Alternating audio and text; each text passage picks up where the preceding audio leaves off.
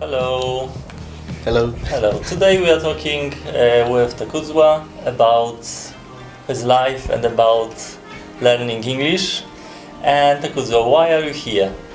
Okay, um, first of all, I'm here as a student in Poland. I'm studying international business. But you know, the main reason why I'm here is I like Poland and I like the weather, and it's a, it's a very peaceful country. Yes, Yes. are you sure?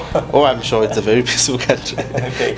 And how it? Uh, okay. And uh, do you know any funny stories about learning English? About learning English. Okay, uh, I- yeah, I, I, I do have one funny story, and it's not really a personal story, but it's it was with a friend. So we were in class, and this new friend of mine, uh, he was just starting to learn English, so he didn't really know some expressions and how to respond to questions. So he was playing with his pen in this class. So the teacher saw him, and the teacher was like, "Hey, uh, stop playing with your pen because you should concentrate." So he didn't really understand what the teacher meant. So he stood up with his pen and went to give the teacher the pen.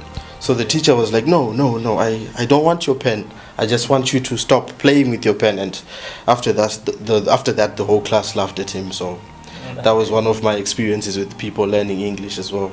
Okay, thank you. And then, um, do you know any stereotypes about learning English?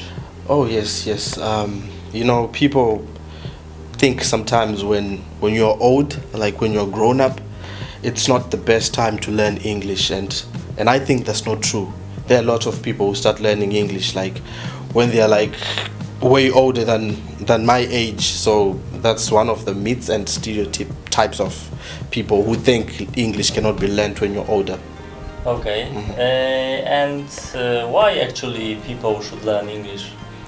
Oh, I, I think people should learn English because it's it's an international language. You know, when you go in a different country, you are most likely to be using English. Of course, some countries use Spanish and, and a lot of other languages, but mostly in every country, people speak English. So let's say you have a problem with something, you need help.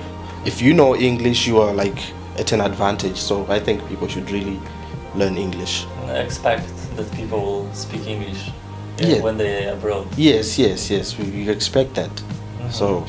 Okay, okay. And uh, why should people learn English with you? Oh yeah, with me. Oh yeah, yes, yes. I, I think people should learn English with me because because I, I think I'm a fun person and I, I'm free and you know I think people would be comfortable learning with me because I'm I give room for everything for fun for learning and it's it's easy with me. That's that's what I think. Okay, that's great. Okay. Okay, thank you very much. It was nice meeting you. Okay, bye.